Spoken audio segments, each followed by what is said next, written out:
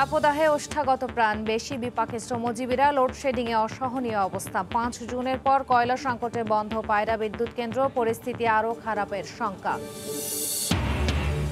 দুর্নীতিতে বিশ্ব চ্যাম্পিয়নদের মুখে সরকারের সমালোচনা মানায় না, বলছে আওয়ামী লীগ। চার পাঁচ দিনের মধ্যে চূড়ান্ত আন্দোলনের উপরেখার ঘোষণা বিএনপির।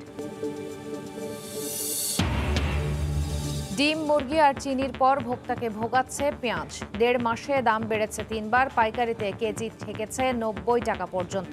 স্বস্তি নেই আদাতেও। এবং ভয়াবহ রূপ নিয়ে আসছে ডেঙ্গু। মৌসুম শুরুর আগে মৃত্যু তেরো। হাসপাতালে হাসপাতালে রোগের চাপ। নতুন ভ্যারিয়েন্ট নিয়ে উদ্বিগ্ন চিকিৎসকরাও বাড়তে পারে প্রাণহানি।